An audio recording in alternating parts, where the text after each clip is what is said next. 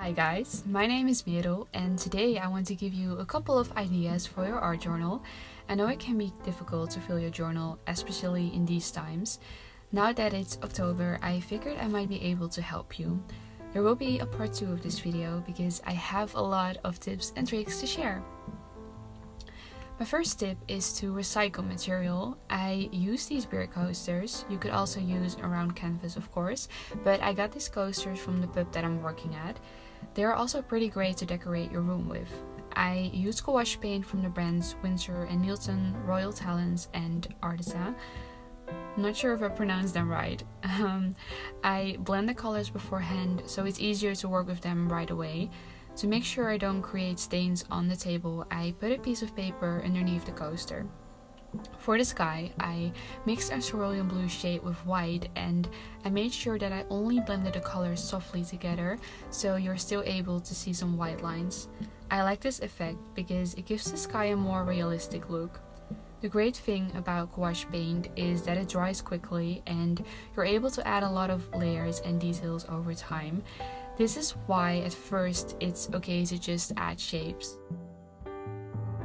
To create a magical effect with stars, I grab a bigger paintbrush and with some white paint and water, I basically dab the brush softly so that the paint splatters on the coaster. And now it's time to add clouds. If you have never painted clouds before, you're able to follow what I'm doing here. You have to start with the lightest color and from there you will work downwards. Everything that is more close should be darker and it should have more details. You don't have to wait here until the upper part dries because the beautiful thing about these mesmerizing clouds is that you get to blend these colors together. This needs some work, especially if you're just starting out, but it's a really fun process in my opinion. I would recommend to not wash your brush in between adding more details here because I kind of like how the blue shade blends with the white shade. You're also able to do this by adding some water.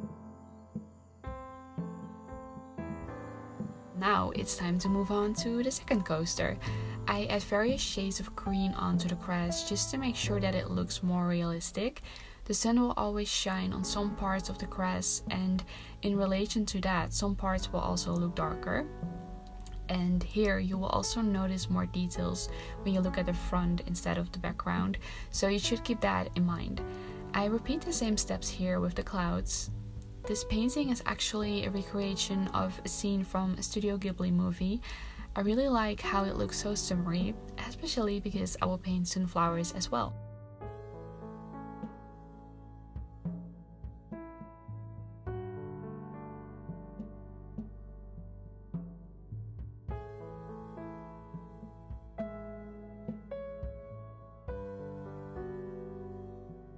Use a thin brush to add crest.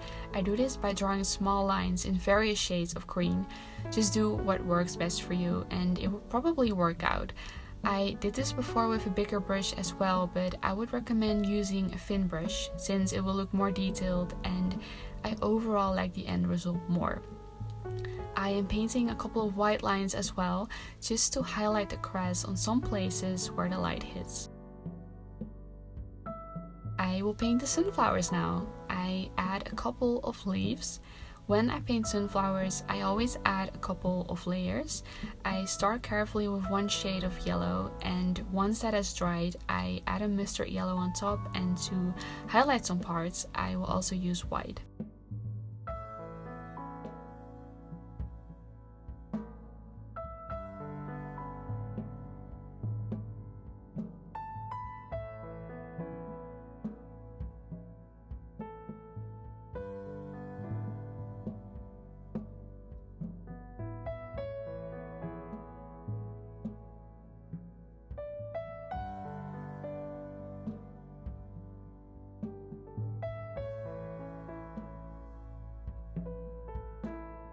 This is where you will notice the effects of different layers over time.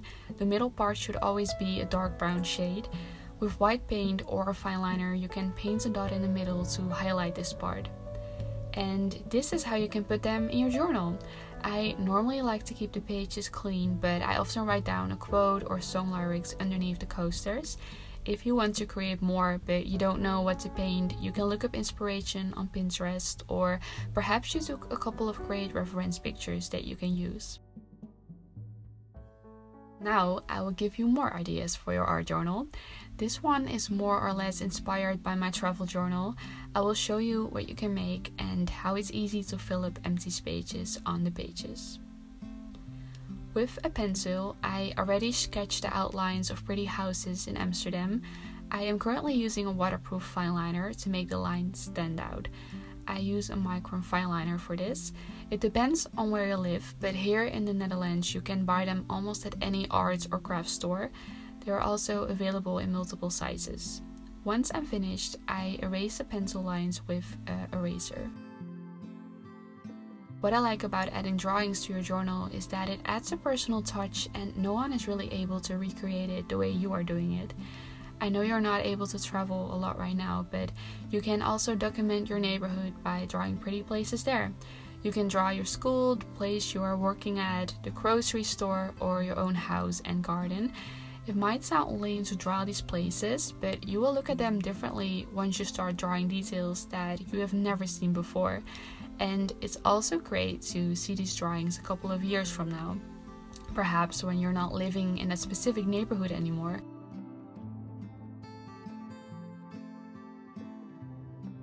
For this journal entry, I grabbed some materials that I still had at home I might not use everything, but I still like having options. In this part, it works just like a puzzle. It's all about reorganizing your stuff and figuring out where you want to place them in your journal. Of course, I already created the drawing of the houses, so I placed that on top of the left page. And I add an envelope as well, since it's easy to put something in there. You can think of adding a receipt or a train card. Having these gift set cards is also great to fill up space in your journal because they look nice and you're able to write on them. Perhaps you can add a to do list here or your favorite music of the moment. And um, as I mentioned before, I would like to make a second video where I give you more ideas for your art journal. I think it's also nice to give you more specific tips on how it's possible to create different themes and how you are able to challenge yourself with different journal spreads. I also used a picture that I took myself, and I often tear out pages from second-hand books just to give the pages a more vintage look and to once again fill up space.